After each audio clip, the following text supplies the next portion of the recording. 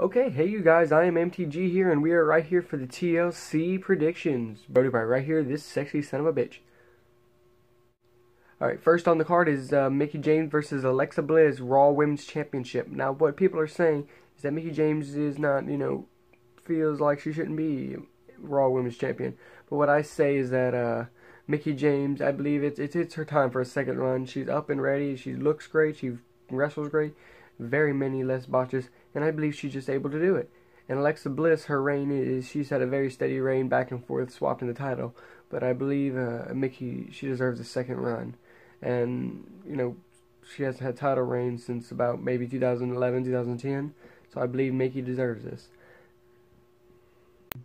A fatal five-way match determined this match for Emma versus Asuka when Asuka was very in much injured at NXT TakeOver Brooklyn 3 against Ember Moon and had to drop her NXT Women's Championship. The undefeated streak retained, but yet Asuka had to relinquish her championship, but is now brought up to the main roster where she will continue her dominance. And of course, I wonder who's gonna win against Asuka. Hmm.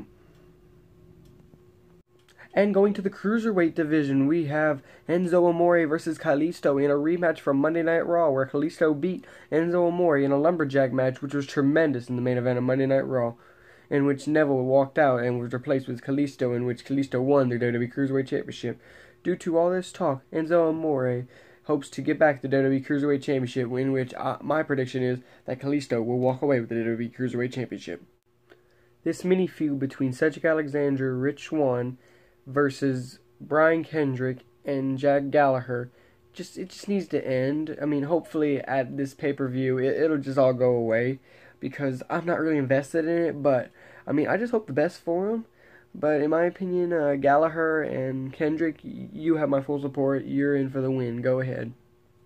We can't, of course, forget the kickoff show. We got the boss, Sasha Banks, going against the fanatic and crazy Alicia Fox. And this match, you know, you just might just throw it away, but it might be interesting to watch on YouTube, you know, something for free. Uh, Sasha, is obviously going to win this one. So what's the point of, you know, really saying it? You know, legit boss. And now, due to big change in plans due to medical issues with Bray Wyatt, we have the Demon Finn Balor going one on one with the phenomenal AJ Styles of SmackDown. We have Raw's Demon King versus SmackDown's phenomenal one in just a huge turn of events. I I just can't pick a winner, but I, I want Styles, but yet I also want Balor. I mean, this is just gonna be great. But I, I would have also enjoyed Sister Abigail versus Pumpkin King. But I mean, we get the Demon versus the Phenomenal one. I, I just can't wait for it. And now we got the main event. We got the Miz and the Bar, Sheamus and Cesaro, Braun Strowman, and potentially Kane. It's potential. I really can't verify.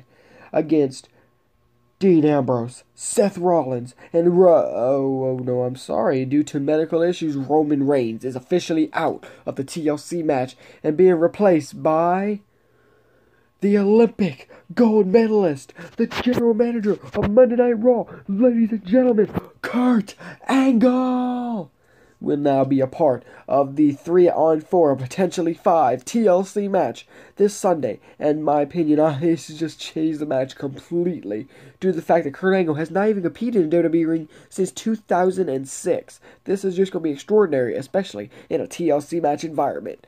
Ladies and gentlemen, these are my predictions. Don't forget to like, share, and subscribe. Click on notifications to be alerted of, of any new videos I may upload anytime soon. Ladies and gentlemen, I love you all and subscribe.